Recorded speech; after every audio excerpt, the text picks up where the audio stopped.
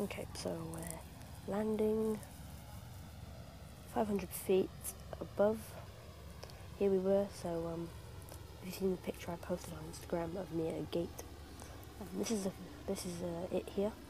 We came in a bit quick. I did forgot to put up the nose of the aircraft a bit, if you can see now when I land. But yeah, it was great landing. It was really good. Um, here we go.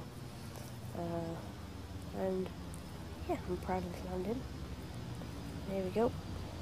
I forgot to pull it up as I said, but we, we touched down safely.